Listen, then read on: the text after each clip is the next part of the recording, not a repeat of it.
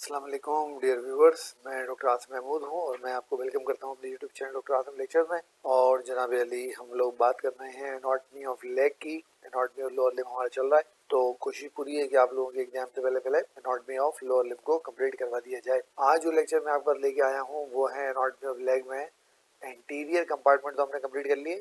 आज हम बात करेंगे लेटरल कंपार्टमेंट ऑफ़ लेग की।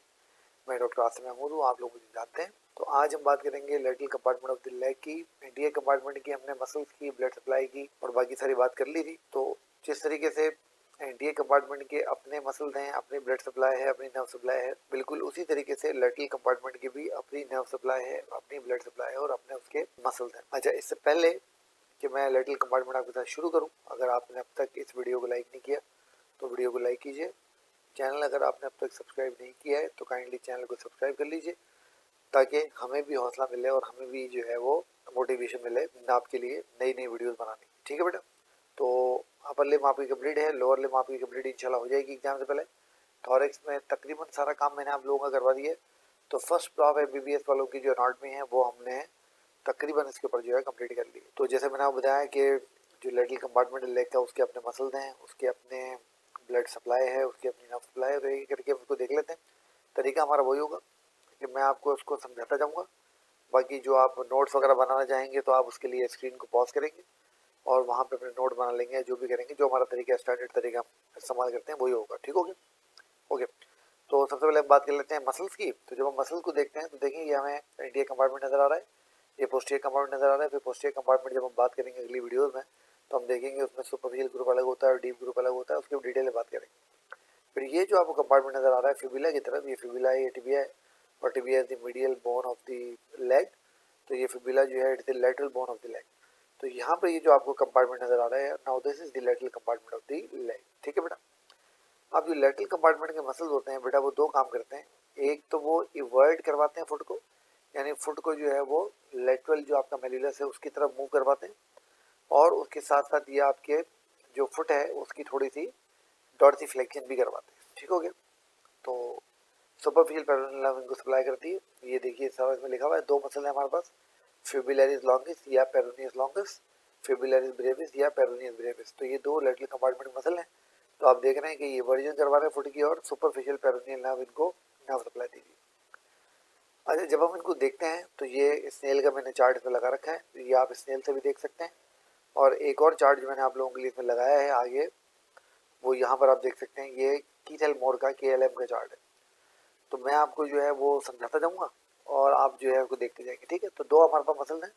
पहला जो हमारे पास मसल है वो पेरोनियस लॉन्गस या फिबिलरिस लॉन्गस है। और आप देख रहे हैं, ये फिबिला आपको नज़र आ रही है। ये फिबिला की जो शाफ्ट है, उसके लेटल सफ़ेद से ओरिजिनेट कर रहा है। उसके बाद आप देख रहे हैं कि ये जो मसल है, इसका टेंडन जो है वो जा रहा है और ये लेटरल मेलिलस को पीछे से क्रॉस कर रहा है। और पीछे से क्रॉस करके ये आपकी जो फ़र्स्ट मेटाटार्सल बोन है उसके ऊपर जाके ये इंसर्ट हो रहा है और साथ ही साथ ये यूनिफॉर्म बोन पे भी जाके इंसर्ट हो रहा है। यहाँ पर आप देख सकते हैं, ये आपको बात नज़र आ रहा है। ये फिबिलरी या पेरोनियस का टेंडन है। आप ये देख रहे हैं, ये आया। इसने लेटरल मेलिलस को क्रॉस किया। और लेटरल मेलिलस क्रॉस करके आप देख रहे हैं, इसने पूरा का पूरा जो है वो टर्न किया। टर्न करके ये फ़र्स्ट मेटाटार्सल पे और साथ में जो मिडिल यूनिफॉर्म आपको नज़र आ रही है, ये मिडिल यूनिफॉर्म पे जाकर जो है ये इंसर्ट हो गया।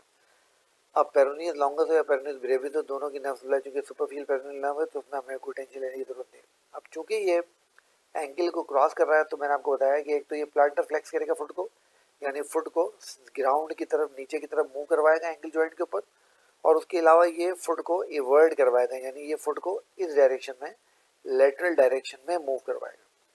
तो ये जो है वो उसके दो काम है। अच्छा एक और चीज़ जो अगर आप देखें, यहाँ पर थोड़ा ध्यान से तो ये पेरोनियस लॉन्गस जो है, चूँकि ये पूरा के पूरा ट्रांसफर्सली क्रॉस कर रहा है हमारे सोल ऑफ़ द फुट को तो ये जो हमारी ट्रांसफर्स आर्च और जो लॉन्गिट्यूडनल आर्चेज होती हैं फुट की उनको जो है वो सपोर्ट भी करता है। तो ये जब मैं आपको फुट पढ़ाऊँगा तो मैं वहाँ आपको फुट की बोनी आर्चेज पढ़ाऊँगा जो कि आपको चलने में और अपने आप को ग्राउंड पर खड़ा करने में हेल्प करती हैं। तो वहाँ पर आप ध्यान में रखिएगा कि ये जो आपका पेरोनियस लॉन्गस है, इसका टेंडन जो है वो, जो हमारे ट्रांसफ़र जो आर्च है फुट की और जो हमारी लेटल जो लॉन्गिट्यूडनल जो आर्च है फुट की, उन दोनों को जो है वो सपोर्ट करता है। ठीक है बेटा?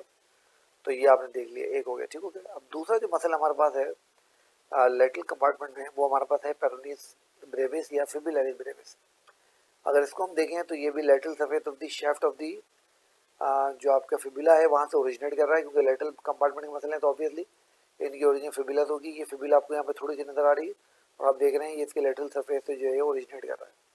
उसके बाद जब हम देखते हैं तो ये देखें इसका जो टेंडन है वो नीचे आ रहा है और नीचे आके base of the fifth metatarsal पे जाके इंसर्ट हो रहा है। ये देखें फिबिलरिस ब्रेविस आपको नज़र आ रहा है, ये फिबिलरिस ब्रेविस का टेंडन है, ये टेंडन देखें, इसके ये आ रहा है। और ये फिफ्थ मेटाटार्सल की बेस पे जाकर जो है वो इंसर्ट हो रहा है। जब इसकी भी नर्व सप्लाई में देखूँगा तो पेरोनियस लॉन्गस की तरह इसकी नर्व सप्लाई भी, जो सुपरफिशियल पेरोनियल उसकी नर्व सप्लाई है। और ये भी पेरोनियल लॉन्गस की तरह, ना सिर्फ़ प्लांटर फ्लेक्शन करवाता है फुट की, बल्कि साथ साथ ये हमारा जो फुट है, उसकी जो है वो इवर्जन भी करवाता है। यानी उसको लेटल साइड पे, इस साइड पे लेटल साइड पे मूव भी करवाता है, बाहर की तरफ़ भी निकालता है। इसके अलावा चूँकि ये लेटल साइड पे जाकर अटैच हो रहा है तो ये लेटल जो लॉन्गिट्यूडनल आर्च है, उसको भी सपोर्ट करता है। इसका ट्रांसफ़र आर्च से कोई ताल्लुक नहीं है, क्योंकि ट्रांसफ़र आर्च में ये वहाँ तक इसका टेंडन जो है वो जा नहीं रहा, ठीक है बेटा? तो ये दो मसल हैं जो कि लेटल कंपार्टमेंट में होते हैं, और ये दोनों मैंने आपको समझा दिए बता दिए आप इनकी डिटेल चाहें तो इस चार्ट से, और इस चार्ट से भी जो है वो आप देख सकते हैं। ठीक है बेटा? अच्छा अब आपने इस बात को ध्यान में रखना है कि यहाँ पर जो मसल थे हमारे लेटल कंपार्टमेंट मैंने बता दिया। कि एक तो ये फ्लैक्स करते हैं फुट को, यानी ग्राउंड की तरफ़ मूव करवाते हैं फुट को। इसको आप में प्लांटर फ्लेक्शन कहते हैं। और इसके अलावा ये जो है वो इवर्जन भी करवाते हैं फुट की। ठीक हो गया? अच्छा उसके अलावा ये लेटरल लॉन्गिट्यूडनल आर्च को और ट्रांसफ़र आर्च को होल्ड अप करने में भी जो है वो अपना रोल प्ले करते हैं। ये सारी बात मैं ऑलरेडी आपसे डिस्कस कर चुका हूँ। ठीक है बेटा? तो ये देखिए ये लेटरल कंपार्टमेंट के दोनों मसल के टेंडन आपको नज़र आ रहे हैं। ये फिफ्थ मेटाटार्सल पे जो आ रहा है।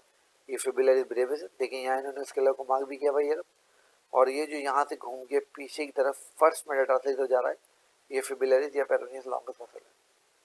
ठीक हो गया बेटा? अब यहाँ तक अगर आपको वीडियो पसंद आ रही है तो उसको लाइक कर लो बेटा, और अगर चैनल को सब्सक्राइब नहीं किया है तो उसको सब्सक्राइब करो। बेल आइकन को प्रेस करो ताकि हर नए लेक्चर का नोटिफिकेशन तुम्हें मिले। मेरा और तुम्हारा झगड़ा ये है कि तुम ना सब्सक्राइब किए बगैर वीडियो देखते हो, सब्सक्राइब कर लिया करो यार, कौन से पैसे लगते हैं?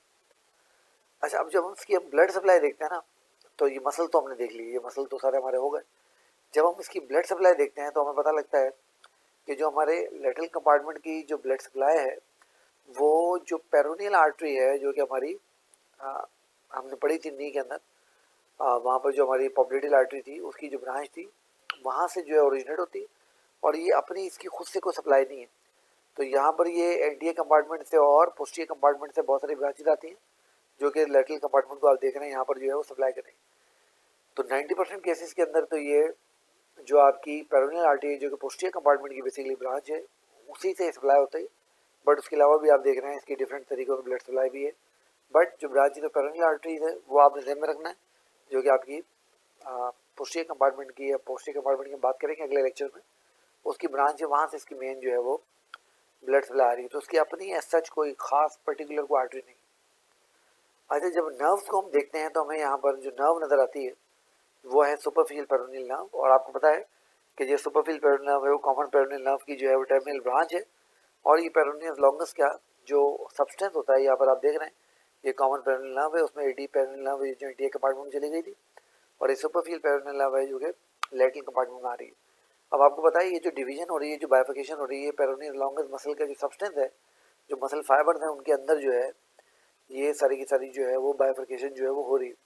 उसके बाद आप देख रहे हैं कि ये जो सुपरफियल पेरोनियल नर्व है, ये लेटरल कंपार्टमेंट में डिसेंड कर रही है डाउनवर्ड्स और डिसेंड जब करती है डाउनवर्ड तो नेक ऑफ़ द फिबुला के पास पहुँच के ये जनाब एली पेरोनियस लॉन्गर मसल को सप्लाई करती है और उसके साथ साथ ही पेरोनियस ब्रेविस मसल को भी यहाँ पर सप्लाई कर रही है। तो पेरोनियस लॉन्गर तो पेरोनियस ब्रेविस दोनों मसल को सप्लाई कर रही है। पेरोनियस लॉन्गर आपको पता है थोड़ा बड़ा मसल है। तो उसकी सप्लाई के लिए ये नेक ऑफ़ भी ब्रांच देगी और नीचे भी ब्रांच देगी। पेरोनियस ब्रेविस थोड़ा छोटा मसल है तो उसके लिए नीचे जिस जगह पर जो है वो इसकी जो है वो ब्रांचेस देगी। ठीक हो गया? अच्छा उसके अलावा जब हम देखते हैं तो ना सिर्फ़ आप देख रहे हो कि ये पेरोनियस लॉन्गस को और ब्रेविस को सप्लाई कर रही बट आगे चल के ये एक कोटेनियस ब्रांच भी दे रही है, जो कि अब बाद में मीडियल और लेटरल ब्रांचेज में डिवाइड हो जा रही है। और आप देख रहे हैं कि ये दोनों जो है मीडियल लेटरल ब्रांचेज जो हैं, वो जो आप हमारा लोअर पार्ट ऑफ़ द जो लेग है और साथ में जो हमारा डॉर्सम ऑफ़ द फुट जो है, उस तक भी जो है वो नर्व सप्लाई जो दे रही है, जो कि कुटेनियस जो है नर्व सप्लाई होगी। ठीक हो गया? तो आप देख रहे हैं कि सारे टो को सप्लाई कर रही है बिग टो को भी सप्लाई कर रही है। ये जो आपके बाकी सेकंड टो को थर्ड टो को और फोर्थ टो का जो लेफ़्ट अपना मीडियल वन थर्ड है, उसको भी जो है वो सप्लाई कर रही है। ठीक हो गया? तो ये बेटा आपको ये सारा इसमें मैंने यहाँ लिख भी दिया है, जो मैं आपको बता रहा हूँ। तो ये आप चाहें तो स्क्रीन पॉज करके इसके नोट बना लीजिए। तो ये देखें, यहाँ पर भी आपको नज़र आ रहा है कि किस तरीके से ये आपके बाद ना सिर्फ़ इन दोनों मसल्स को सप्लाई कर रही है, बल्कि साथ साथ जो आपका जो लेग है और जो आपका डॉट्सम ऑफ़ द फुट है, उसकी स्किन को भी जो है वो ब्लड सप्लाई दे रही है। तो बेटा this is all about lateral compartment of the leg एक बहुत छोटा सा टॉपिक है तो उसमें कोई खास बात नहीं है। तो ये मैं उम्मीद करता हूँ आपको अच्छे समझ में आ गया होगा। आप यहाँ तक अगर आपको ये वीडियो पसंद आई तो वीडियो को लाइक कीजिए, चैनल को सब्सक्राइब कीजिए, वीडियो को अपने दोस्तों के साथ शेयर कीजिए, ताकि उनको भी एग्ज़ाम के अंदर इसको पढ़ने में समझने में आसानी हो। यहाँ तक मुझे इजाज़त दीजिए। अगली वीडियो में मैं आपके साथ इंशाल्लाह बात करूँगा। एन टी ए कंपार्टमेंट और लेटर कंपार्टमेंट बाद दूसरे कंपार्टमेंट में लेके एक लेक्चर हम उसके मसल पे करेंगे। बड़ा वो ज़्यादा मसल है वहाँ पर। एक लेक्चर हम उसकी ब्लड करेंगे और एक लेक्चर हम उसकी जैन पे करेंगे। तब तक अपना बहुत सारा ख्याल रखिए। मुझे याद दीजिए। अल्लाह हाफिज़।